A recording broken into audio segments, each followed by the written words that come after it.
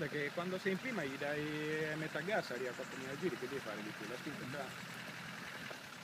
Perché poi la mandi subito fuori giri, torna indietro.